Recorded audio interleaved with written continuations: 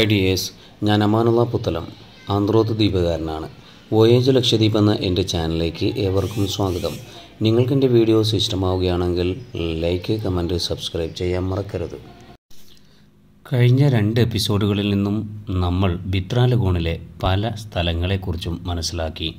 സിദ്ദിഖ് മാമാച്ചാൽ തടിയൻകുപ്പ് ചെറിയ കോൺ വലിയ കോൺ അഥവാ മേലാക്കോൺ ചെറിയ പെട്ടി ജായപ്പാറ് മണ്ടിക്ക് മേളിലെ രണ്ട് കല്ല് എന്നീ സ്ഥലങ്ങളാണ് നാം വന്നെത്തിയിരിക്കുന്നത്.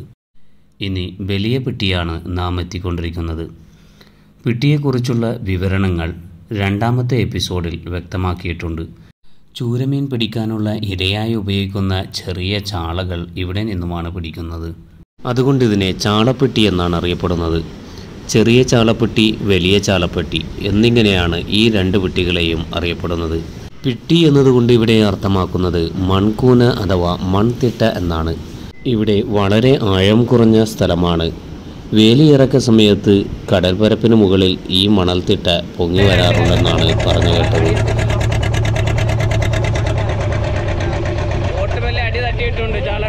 വലിയ ഇവിടെ കുറവാണ്.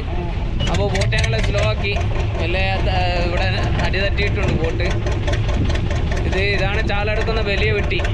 വലിയ പെട്ടി കഴിഞ്ഞ് കുറച്ചുകൂടി മുമ്പിലോട്ട് പോയപ്പോൾ ബലിയപാനി എന്നറിയപ്പെടുന്ന വേറൊരു കല്ലും ഞങ്ങൾക്ക് കാണിച്ചു തന്നു.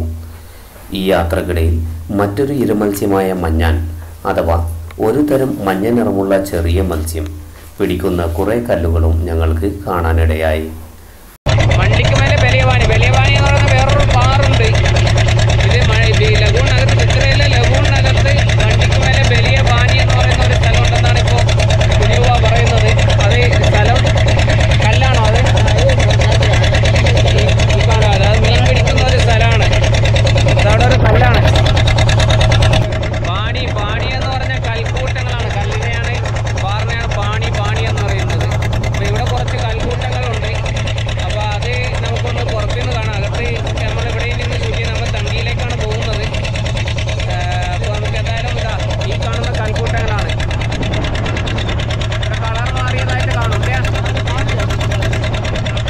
ഈ ചുറ്റി കാണാം. ഏ?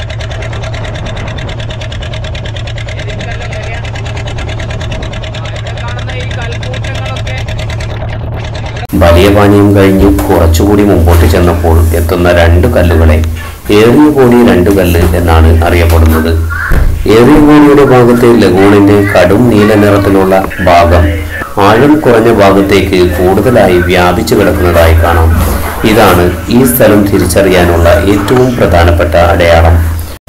വിസ്തൃതമായ ലഗൂണിലെ സ്ഥലങ്ങളെ പെട്ടെന്ന് തിരിച്ചറിയാനുള്ള അടയാളങ്ങളായിട്ടാണ് ഇത്തരം കല്ലുകളെയും സ്ഥലപ്പേരുകളെയും ഉപയോഗപ്പെടുത്തുന്നതെന്നാണ് നമുക്ക് മനസ്സിലാക്കാൻ സാധിക്കുന്നത്.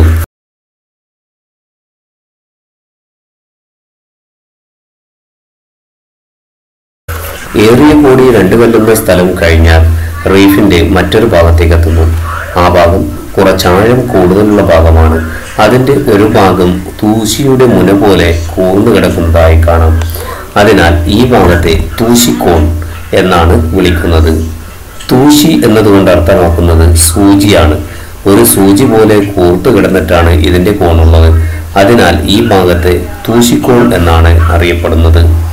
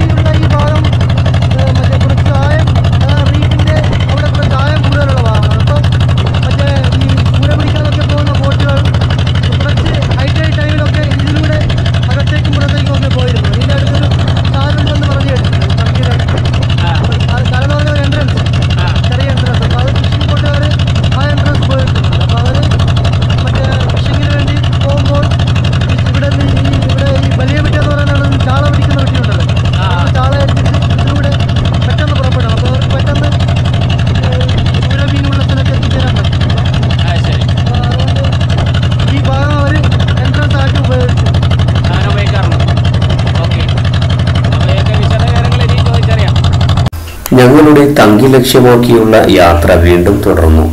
ബിത്ര ദ്വീപിൽ നിന്നും ഇരുന്നൂറ്റി ഇരുപത്തി ആറ് ഡിഗ്രിയിൽ ഏകദേശം എട്ട് കിലോമീറ്റർ കൃത്യമായി പറയുകയാണെങ്കിൽ ബിത്രയിലെ ജെട്ടിയിൽ നിന്നും ഏഴ് പോയിന്റ് ഏഴ് കിലോമീറ്റർ സഞ്ചരിച്ചു കഴിഞ്ഞു. ഞങ്ങളിപ്പോൾ പടിഞ്ഞാറ് ഭാഗത്തെ റീഫ് അഥവാ പാറിന്റെ തൊട്ടടുത്ത് എത്തിയിരിക്കുന്നു. ഉടൻ തന്നെ ബോട്ടിന്റെ വേഗത കുറച്ചുകൊണ്ട് കുഞ്ഞുവ പറഞ്ഞു ഇതാണ് തങ്കി ഇവിടെ നോക്കിയാൽ നിങ്ങൾക്ക് ഉറപ്പായിട്ടും തകർന്ന ആ കപ്പലിന്റെ ടാങ്ക് കാണാൻ പറ്റും.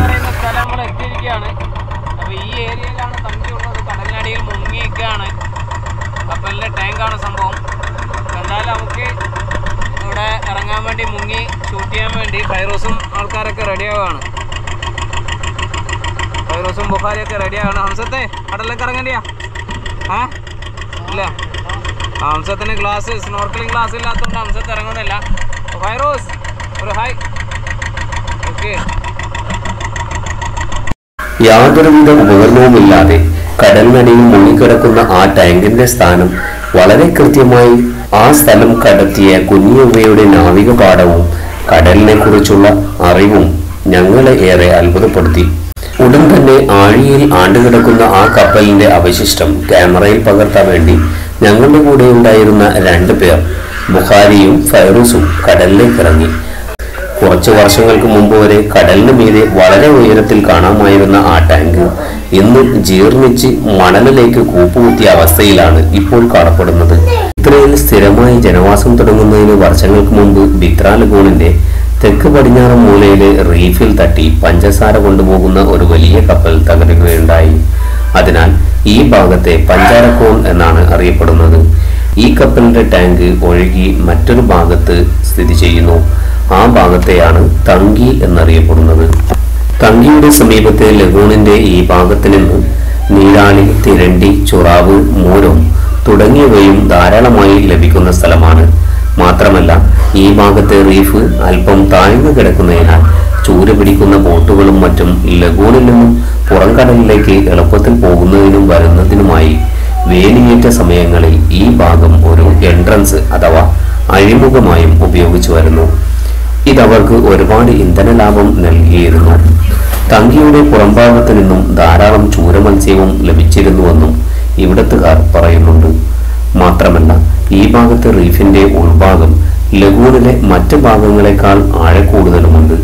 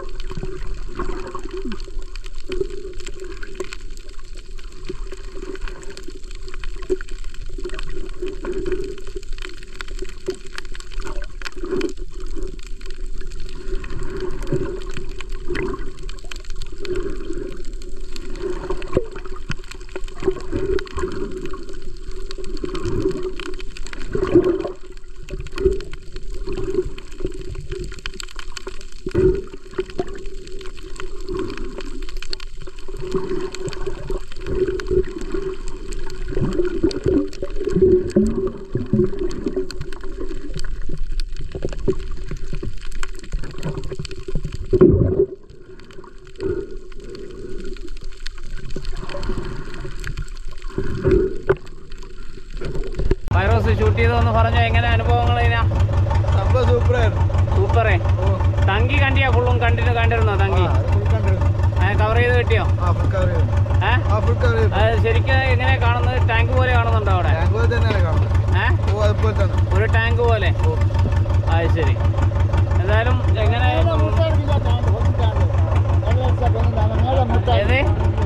അല്ല മുട്ടാണ് ഇപ്പൊ പൊന്തി കാണണ്ട ബാക്കിയെല്ലാം അളിഞ്ഞുകൊണ്ട് പോയി കുറഞ്ഞു പോയില്ലേ അത് മുട്ടാണ് ഫൈറോസ് ഇപ്പൊ ഇത്രയിൽ ആദ്യമായിട്ടല്ലേ ഉറക്കിയാ വന്നത്?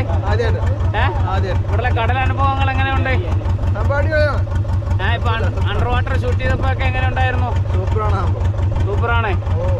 എന്തെങ്കിലും പ്രത്യേകിച്ച് അത്ഭുതപ്പെട്ട വല്ലതും ഉണ്ടോ എന്തെങ്കിലും പ്രത്യേകിച്ച്? മൊത്തം അത്ഭുതമാണ് ഒരു ലോകം തന്നെയാണല്ലേ കടലിനടിയിൽ ഓക്കെ. ഫൈറൂസാണ് ഈ അണ്ടർ വാട്ടർ വീഡിയോ ഷൂട്ട് ചെയ്തത് ഫൈറൂസിന്റെ നാട്ടുകാരൻ എന്നതിലുപരി എന്റെ അയൽവാസി കൂടിയാണ്.